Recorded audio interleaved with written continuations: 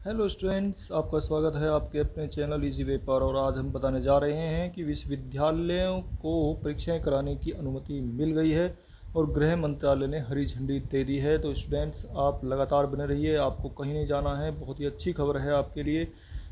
तो गृह मंत्रालय ने एग्ज़ाम कराने की अनुमति दे दी है उस शिक्षण संस्थान और विश्वविद्यालय।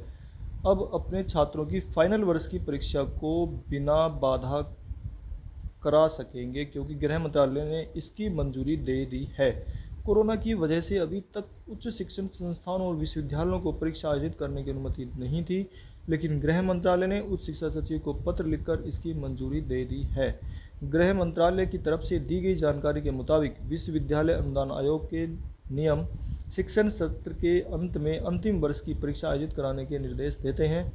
ऐसे में स्वास्थ्य मंत्रालय ने कोरोना महामारी को लेकर जो नियम जारी किए हैं उनका पालन करते हुए परीक्षा आयोजित की जा सकती है। तो यूजीसी ने कह दिया है कि ये परीक्षाएँ आप करा सकते हैं। गृह मंत्रालय की इस अनुमति के बाद सभी विश्वविद्यालय, Indian Institute of Technology, Institute of Science, Institute of Management और अन्य सभी उच्च शिक्षा संस्थान अपने फाइनल ईयर के छात्रों की परीक्षा करा सकेंगे।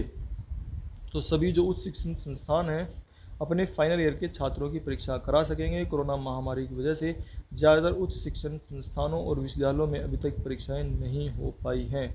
तो स्टूडेंट्स ये जो हमारे फाइनल ईयर के छात्र हैं, उनके लिए बड़ी खुशखबरी की बात है कि उनकी परीक्षाएँ अब आयोजित की जा सकती हैं। तो आप जल्दी से अपनी तैयारी आरंभ कर सकते हैं, क्योंकि आपकी परीक्षाएँ कराने की अनुमति अब यूजीसी दे चुका है। विश्वविद्यालय को परमिशन मिल चुकी है तो विश्वविद्यालय जल्दी से इस बारे में निर्णय ले लेंगे।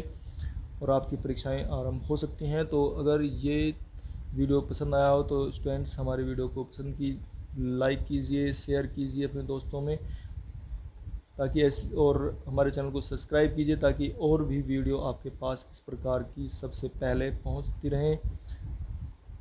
धन्यवाद।